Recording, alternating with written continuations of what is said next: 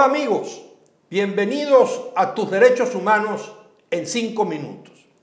Hace muchos años, Teodoro Petkov publicó un opúsculo que no está para nada entre sus mejores publicaciones, titulado Las dos izquierdas.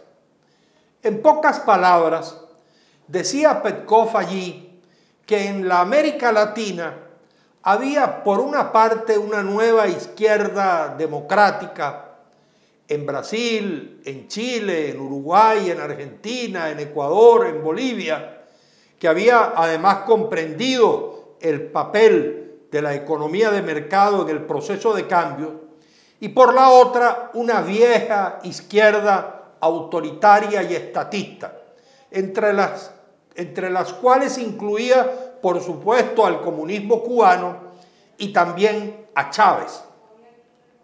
Maduro acaba de hablar siempre cayendo en la lamentable costumbre de la descalificación de una izquierda cobarde, haciendo alusión en particular a Boric en Chile y a Castillo en Perú, debido a sus deslindes con el proyecto chavista madurista. Gustavo Petro desde Colombia salió al paso con la lanza en ristre y le respondió al presidente que cobardía era el autoritarismo antidemocrático y no desprenderse del rentismo petrolero, del cual, como sabemos, el gobierno venezolano sigue hasta el día de hoy dependiente. De hecho, buena parte de esa pequeña recuperación económica se debe al incremento de los precios del crudo. Yo me considero de izquierda, de centro izquierda. Me gusta incluso definirme como socialista liberal, que cree en la democracia representativa y participativa y en la economía social de mercado con un estado de bienestar. Votaría con las dos manos por Lula, por el Frente Amplio Uruguayo. Lo habría hecho por Boric, por Arce, por Araúz y lo haría en Colombia por Petro. Y uno sabe, quizás porque algo ha estudiado al respecto, que la izquierda exitosa es la que ha internalizado a plenitud las reglas democráticas, incluso aceptando la alternancia republicana y dejando el gobierno si es la voluntad del pueblo, y la que con sentido común promueve una economía social de mercado que cree riqueza y un estado de bienestar que la reparta vía impuestos como en Europa.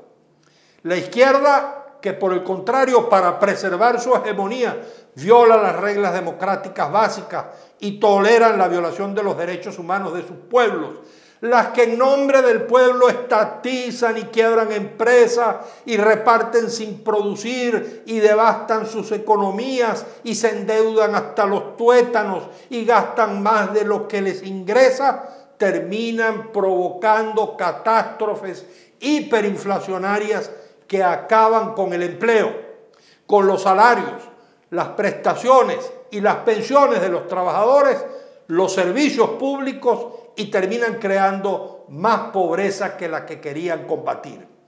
Esta es la izquierda, no sé si muy valiente, pero fracasada. Yo le diría al presidente Maduro y al PSV que en vez de estar desgañitándose contra las izquierdas que no piensan como ellos, reflexionen y aprendan de sus éxitos. Todavía están a tiempo entre autoritarismo y democracia, escojan democracia, con todas sus consecuencias, incluyendo la alternancia republicana. Entre estatismo y economía social de mercado con estado de bienestar, escojan esta última para que ofrezcan crecimiento con justicia social y oportunidades para todos. Todavía están a tiempo. Los espero mañana, amigas y amigos, en su espacio tus derechos humanos en cinco minutos.